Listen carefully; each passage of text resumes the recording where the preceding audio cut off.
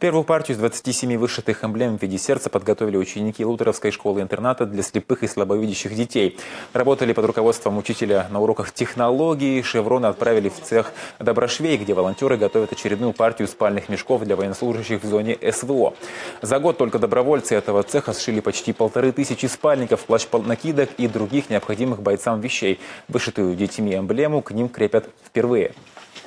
Это синициировали сами дети, то есть в школе появилась э, вышивальная машина, и в рамках проекта «Помогаем своим», который работает в нашем городе, была уже разработана модель логотипа проекта.